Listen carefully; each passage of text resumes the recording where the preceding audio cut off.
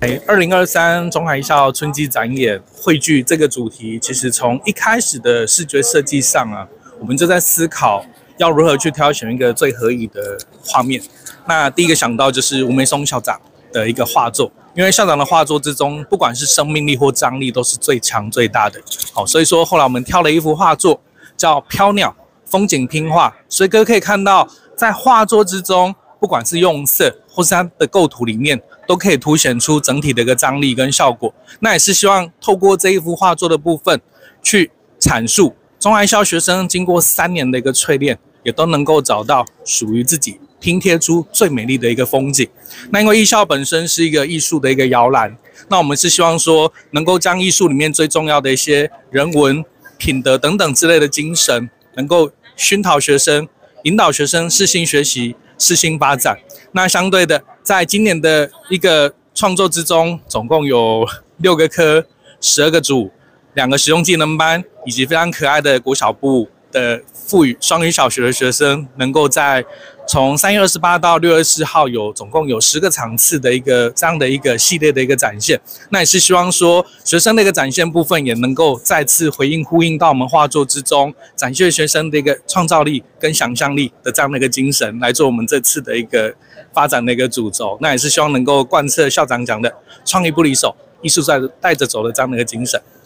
这次我们表演艺术的方面有到像大东啊、文化中心呐那些表演场域吗？OK，那我们在这次的一个演出啊，市政府中庭是我们的第一场。那后续延伸的，包含大东，还有我们的社教馆，甚至还有那个文化中心，以及甚至我们这一次也特别美术馆的内围的一个艺术空间，还有中华艺校南北校区，甚至还有跟外面房间，就是那个博尔。毕信三十四的一个艺术展览空间，共计有十个场次的一个演出。那我们是希望能够提供学生各种大大小小的一个平台。所以，我们今年展出有一个特别亮点，就是在我的右手边，我们这次特别邀集了六个国中伙伴学校，能够将学生的作品一起大手牵小手，在这些多人的场域之中，也能够一起做艺术的一个推广。那这六所国中哦，你可以大概呃说明一下吗？OK，那这一次六个国中分别有蛮长时间呢，有跟艺校有相对应的连接，有一些是我们附近邻近的一个伙伴学校。那一路从旁边的七贤国中、寿山国中、国昌国中、后金国中、英明国中，还有凤山国中。这一次我们算是一个抛砖引玉，第一次就是跟艺校有一些相关，不管是国中记忆教育。甚至社团或是有一些艺术讲座之类的邀请部分的一个连接，那我们是希望透过这样的一个抛砖引玉的部分，未来也有更多的机会能够再跟其他所有国中有更好的一个连接。好，那在我右手边有一个非常大的展场区域，这是中华艺术学校美术科的展场。那美术科总共分成广告设计组跟造型艺术组。那我们今年展出的主题的作品的部分，主题是叫造诣。那是希望说，学生透过这三年的一个学习里面，不管是在设计或是造型艺术的一个领域，都能够有很好、更精进的一个呈现。那尤其是在我右手边的地方的这些画作，今年高雄市全国学生美术比赛，美术科学生非常了得。今年在版画类十件作品中，十件全部进入前三名，而且这十件都能够顺利送到全国赛去参赛。那我们希望他们也能够有更好的一个佳绩。那学生都能该。都能够在所有的绘画之中，去把他个人的创意跟想象力，运用学校所教育他的各项技术跟美彩，充分去发挥，然后能够受到这次委员的青睐。那我想这也是在整个艺术教育里面能够受到委员的一个肯定，而这也是一个最好的一个回馈跟价值。那各位可以看到，不管是学生在用色，甚至在技巧部分。等等都能够善用所有媒材，那把在画作之中清楚的、清楚的将自己的一些创意跟理念，还有技法的部分，做一个忠实原味的一个呈现。那作品其实呈现部分都相当的多元，手法也都相当的特殊，都能够欢迎就是所有对艺术有兴趣的一些贵宾们，或是相关的民众，都能够到场来给予学生鼓励跟支持。OK，像这一幅画作是今年的高雄市初赛。全国学生美术比赛版画类的第一名的一个作品。那我们在版画的一个创作里面呢，以往大家都会用所谓的胶板，那我们在今年的一个处理上面有蛮特别的，我们做了很多复合式平板，甚至用了所谓的石膏板，这是比较少学校会去做的一个呈现方式。那这幅作品除了高雄市的全国学生美术第一名以外，还得到全国的版画佳作，那同时也拥有绩优申请资格十五 percent 加分的这样的一个。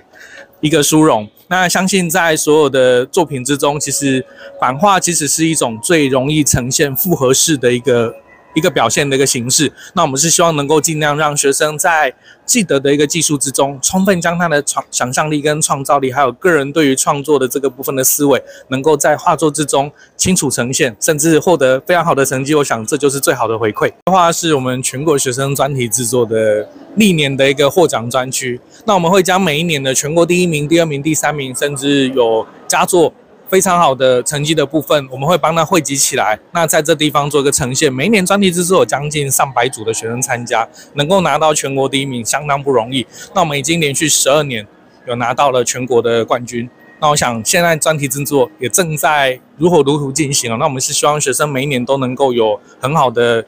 在不管是探究或者在专题这一块能够去。学到这样的一个团队的一个精神，在这个区域展出的是多媒体动画科的一个创作。那多媒体动画科学生无非就是喜欢有关插画、漫画，甚至有关动画的相关人物的一个这个部分的一个创作。那在每一年的课程之中，我们特别推崇就是这个原创插漫画的一个创作。那学生除了他在坊间所看到的动漫画以外，他也可以依照这些学习之中所学到的专业技术。来个人创作属于自己的一个角色的一个原创，那我们每一年会辅导学生在这些原创角色之中去参加各项的竞赛。那甚至除了这些角色设计以外，在我的右前方这个地方，我们也会引导学生透过特色设备去做相关的一个文创产出。那各位可以看到，不管是纸胶带、钥匙圈，甚至胸章，甚至也会帮学生制作相关的一个库卡等等，都能够变成学生最好的一个升学备审资料。而且好像是校庆的时候，学生们都拿出来义卖哦。另外一个这个也是很特别。那除了刚刚所提到的原原创角色设计以外，另外一个更重要是如何延伸到生活之中。所以我们在课程之中有引导学生透过赖贴图的一个设计，也就是说从原创角色设计之后延伸变成是一个系列性的商品。那甚至这些东西我们都有让学生引导，让它变成是赖上面可贩售的一个商品。那借由这个方式，也能够激发学生的学习动力，那相对也能够把这样的一个特色课程做一个彰显。那在右手边这个地方是一个比较特别的今年的一个规划，目前正在如火如荼在做相关筹备。我们让所有的原本毕业的同学，原本的国中，他将他原本国中的生活的一些点滴，还有学校的一个特色，制作成未来属于该校的一个学生的一个校贴图。的一个赖贴图，那我是希望说，后续我们在相关系列展览之中，也能够让学生亲自把这些赖贴图送给原本的学生跟原本的校长，就是让大家回忆起，哎，原本他在进入艺校以前，在国中的一些生活的一些生活点滴，甚至还有学校的相关特色，这也是我们这次非常重要的一个特点。那中华艺校多媒体动画科这个赖贴图的部分，其实大概从一百零三年左右。我们从特色课程的一个申请，教育部的特色课申请，一直到特色设备的一个申请，一路一直到正式二零一四年、二零一五年，一一路一直到现在，我们也辅导学生能够将他的赖贴图一个系列性、完整性的一个方式做一个呈现。那其实已经可能已经超过将近有百件以上学生的作品，都可以在赖的。官方网站里面去做贴图这个部分的一个首选，那也是希望说透过实际的一个这样的一个创作，那也能够重新让他作品走回生活，而不是冰冷冷的，可能只是在他的作品集之中，是甚至可以回到生生活之中，甚至也可以做一些延伸的一个推广。左手边是这一次影剧科电影电视广播组青春卡麦拉的一个主题展，那。都那个电影电视广播组的学生，无非就是喜欢拿摄影机还有相机的部分去记录生活的相关的点滴，那也让学生练习去使用特色设备，甚至像虚拟摄影棚，能够去真的务实自用的去学习如何真正去做到拍照应该要有的技巧，还有一些相关的专业知识，那能够应用到生活之中。那甚至除了静态的一个作品呈现外，在我的右手边的地方，我们在今年的部分也会引导学生去拍摄各式各样的微电影，主题性的。那甚至这两组作品，一组一组叫做《雾中的故乡》，另外一组叫《家将》。那分别都有在今年专题制作已经进入那个复赛，那我们期待他今年的部分能够有很好的佳绩，因为我们电影电视广播组已经连续好几年拿下全国专题制作第一名，那我们是希望能够借由这一股气势再接再厉。在这个展区的部分是中海销时尚工艺科的展区，那时尚工艺科非常特别的就是在精工饰品、陶艺、文创以及木作，还有更重要学生的服装走秀。是我们在整个课程发展的一个主轴。那各位可以看到我右手边的地方，有各式各样琳琅满目时尚工艺科学生的作品，比如从精工的这些相关的饰品，OK，还有到类似像这样的豪芒豪芒雕刻人叫豪芒雕刻人叫豪芒的一个公仔，甚至可以去仿一些生活的一个素材。各位可以看到非常精致。像一些食材等等之类的这个部分那个临摹，那甚至在我的右手边，甚至还有到纤维的一个领域，学生也可以透过布织布跟纺织的一个动作部分去生产一些所谓的生活文创，甚至还有在这个地方有一个非常特别的东西，就是漆艺。漆艺在台湾其实已经。是一个很少人认识的一个技术。那我们刚好课程之中有这样的一个专业师资，也能够引导学生去认识什么叫做漆艺。那在我左手边，我们还有甚至还有很多台艺大的教育资源跟着我们一起，就是在课程之中给予学生很多专业知识。那这是属于陶艺的一个作品。那我们是希望能够透过手捏的一个动作，让学生更加认识各种质感的一个属性。以及在做烧陶的过程之中，去了解陶跟釉之间上釉色的之间所演变的一些千变万化的一个整体的色调的一个呈现。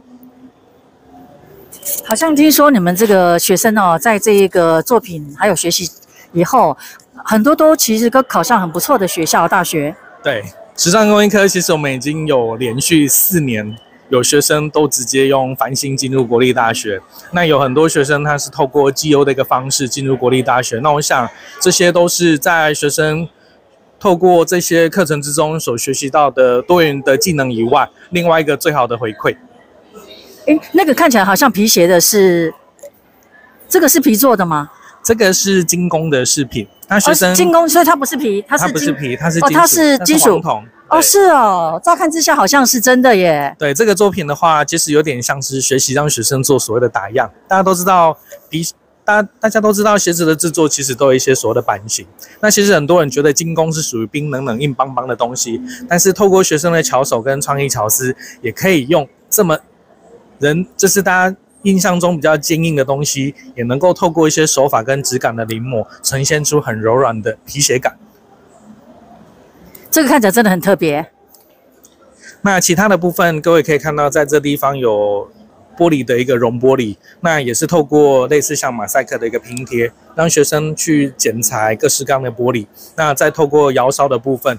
去产生融化的时候，玻璃就是不可预期性的这个部分的一个呈现。那在呈现的部分也相当的多元。那也透过一些。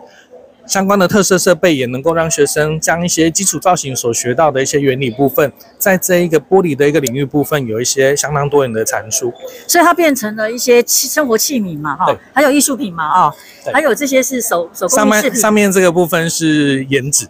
颜纸的话是早期英国教堂里面修女所，这是在闲暇之余所发展的一个。一个手作的一个方式，那我们透过课程里面，各位可以看到，学生也可以透过课程在基础造型、美的形式原理渐变，甚至在色彩的一个配色上面都能够有很好的发挥。所以加上学生在各式各样的一个想象，还有一些基本颜值的的一个技巧的一个授课过程中，学生也可以有这样的一个多元呈现。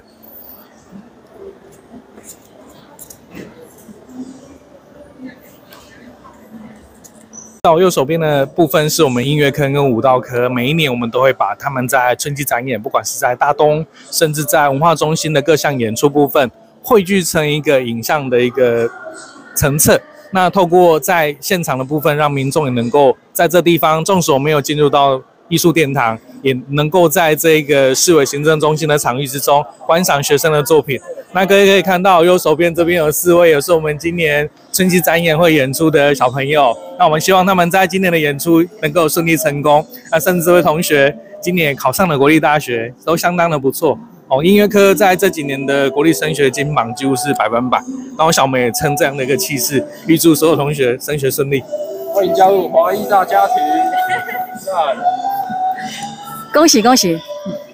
这是中南校影剧科表演艺术组，还有我们影剧技术科学生，在今年准备要演出的剧展《青春抛物线》。那在整个演出内容之中，有戏剧、流行舞蹈、歌唱、创意造型、舞台设计、灯光设计，甚至还有节目主持等。那我想，我们预计会在从三月二十八到五月二十五等等，会在高雄市。四维行政中心、大东甚至社教馆，学生都能够将他最热情、最有活力的各项的演出，做一个非常完整的一个呈现。那你们影剧科有什么特色吗？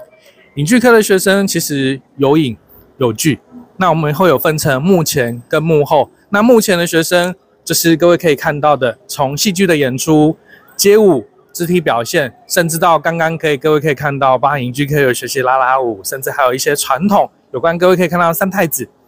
太子，还有跟一些传统武道的部分，甚至家将、官将手，还有甚至宋江阵，都是我们在课程之中跟传统文化连结非常重要的呈现。那还有在整个戏剧部分、流行舞蹈，甚至唱歌的部分，学生都能够将他在课程所学的一些，包含大家讲的霹雳舞，也就是所谓的街舞的部分，都能够充分去做个呈现。